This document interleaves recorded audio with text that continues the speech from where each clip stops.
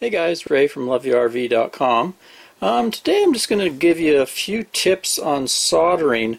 Um, it's not going to be totally in-depth to NASA specs or anything. There's lots of videos on YouTube about that. But recently I've had a few requests just to to um, let people know how I how I go about making a solder connection. I guess some people have tried soldering and end up blobbing, getting kind of a mess to it. So there's uh, really four main things to consider when you're when when you're soldering. A lot of times I'm just when I do soldering, it's on these low voltage uh, 12 volt uh, wiring, really thin wires. Um, most people use these uh, butt connectors. You'll see these in when people are installing stereos and different things in automobiles, um, and they're great. Um, um, if you get them crimped right, um, I don't trust them as much as solder myself. I just prefer prefer a really good solder joint over these. I find a lot of times um, these uh, crimp connections, especially all over RV, there's a bunch of where the factory has used crimps, and uh, I'm forever tracking down problems with them. So um, I just like a good old-fashioned solder connection myself. So, what are the, the things to uh, consider when soldering? First, you want enough heat. That's one of the, the big things I find when people are soldering. Um, if your iron isn't hot enough, uh, a lot of times you end up, when you're doing a joint, you end up holding the iron onto the joint too long and you're transferring a lot of heat into the wiring and it comes back and starts to starts to cause problems with the insulation ins insulation around the wire and you just don't get a a good joint, you end up balling up the solder. So that's the main thing. Get yourself an iron that's that's hot enough for your joint. Um, I really like these, just the old-fashioned Weller guns here, kind of a double double trigger, so you have you have a kind of uh, extra max heat. And that way, if I'm doing a, a really heavy connector, I also have enough heat for it. Um, where I can't plug in, I really like having a little a torch uh, you can pick up one of these. This is the Ben Bernzomatic.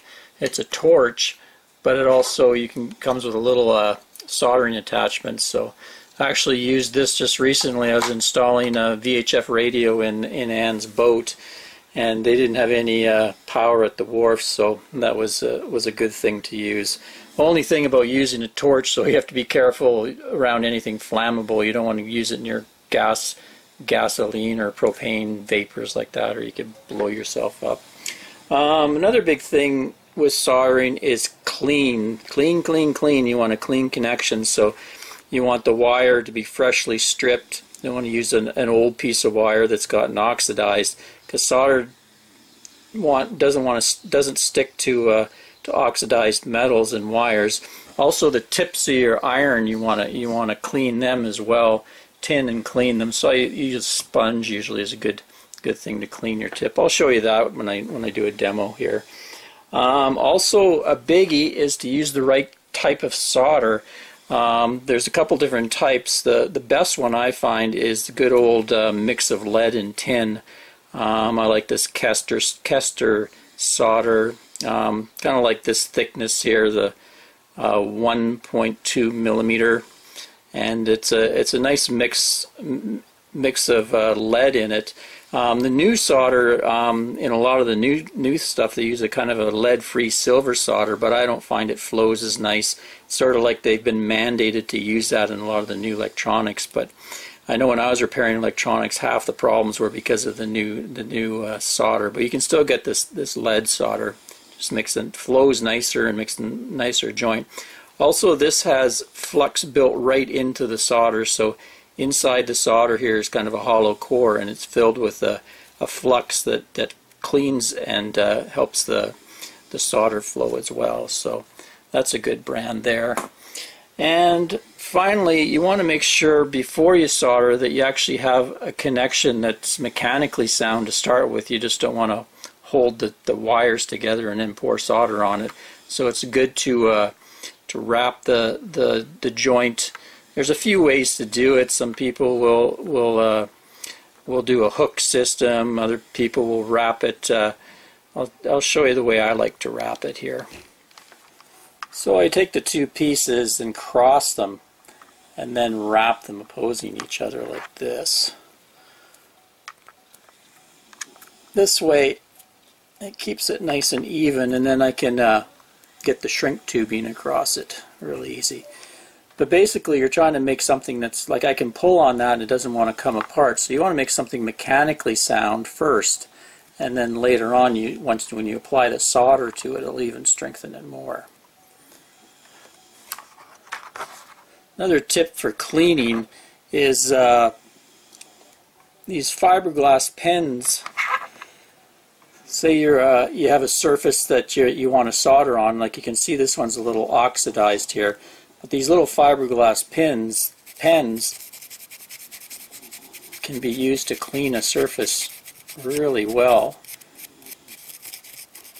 Also great for cleaning contacts. So you can see that how it's cleaned up that that section there. So that's important.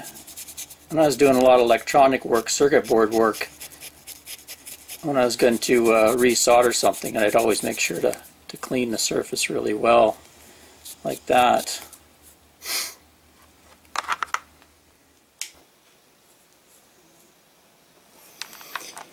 Okay, so what we'd like to do is get the, the soldering iron underneath the wire, apply a bit of solder, and then you want to touch the solder to the wire not the tip of your soldering iron. And do it quick. The idea is to get a nice quick uh, solder on it. And let it set up.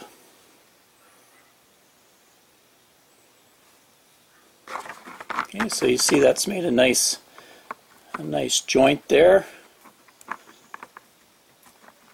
And the idea is to have have the solder flowed right throughout the the wire there and not blobbing or anything or, or a cold solder joint.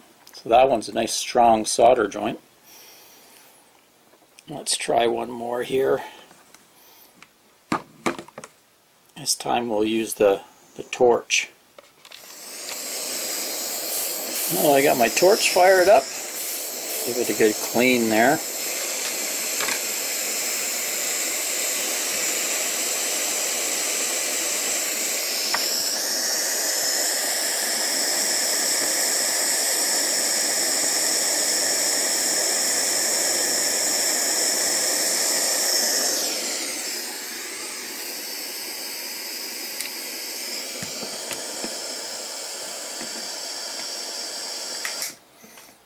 There we go.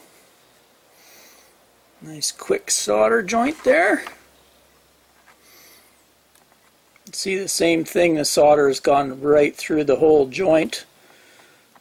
Not blobbing on top anywhere. So we got another good joint there. So you can see the, the thing is to, like I say, have plenty of heat to your iron so the solder flows fast. You don't want the solder flowing really slow.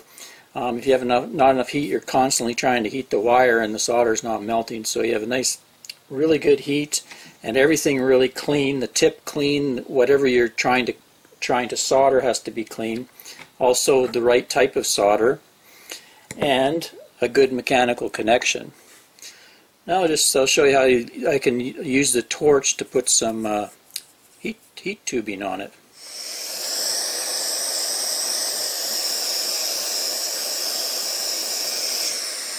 Pretty good.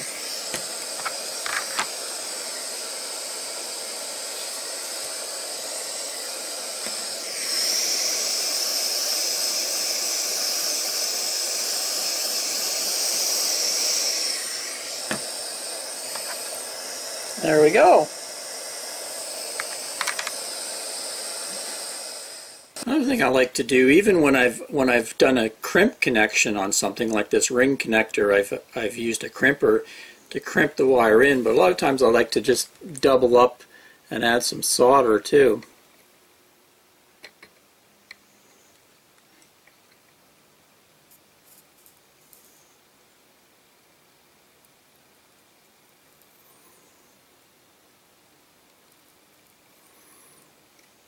Just add a bit let it run right up into the joint.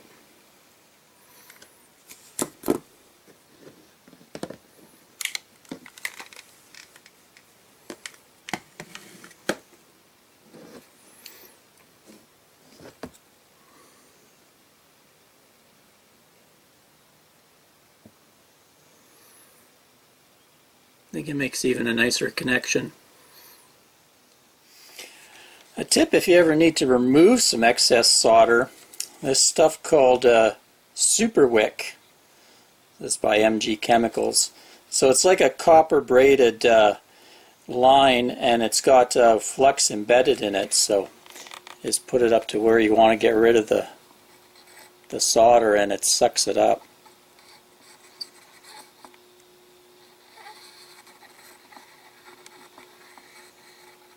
Just like so.